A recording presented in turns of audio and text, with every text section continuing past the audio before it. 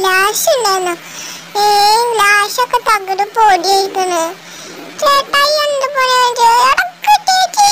ഇന്നിവിടെ ഞാൻ വലിയൊരു കുഴി ഉണ്ടാക്കും പറഞ്ഞുതരാ ഇന്നിവിടെ കുഴി ഉണ്ടാക്കിയിട്ട് എനിക്ക് നല്ലൊരു സാധനം ഉണ്ടാക്കാൻ അവിടെ. ഓ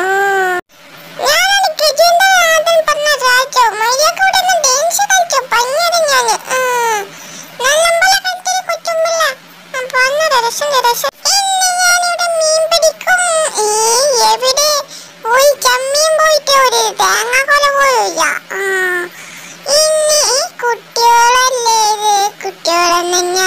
ഞാനൊന്ന് ഭീഷണിപ്പെടുത്തിയാലോ?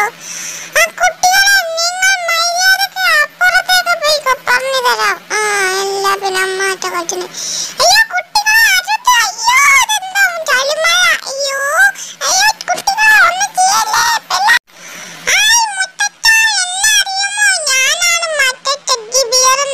ചങ്ങാതി. നല്ലപോലെ നടക്കും മുത്തച്ഛ. ഞാൻ പിടിച്ചിട്ടുണ്ട്. ആ നമുക്ക് പോവാം. പതുക്കെ